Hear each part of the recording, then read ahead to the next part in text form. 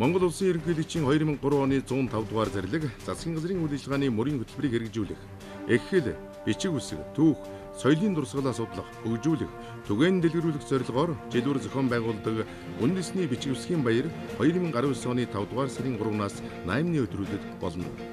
Үндэсний бичиг үсгийн баяр 2019 үйл ажиллагааны нээлт 5 дугаар сарын 3-ны 11 цагт Монгол улсын үндэсний номын сан Ерөнхий зохион байгуулагч боловсрол соёл шинжлэх ухаан спортын яам засгийн газрын хэрэгжүүлэгч агентлаг соёл урлагийн газар. Үндэсний номын сан. Үндэсний бичиг үсэг тусгаар тогтнол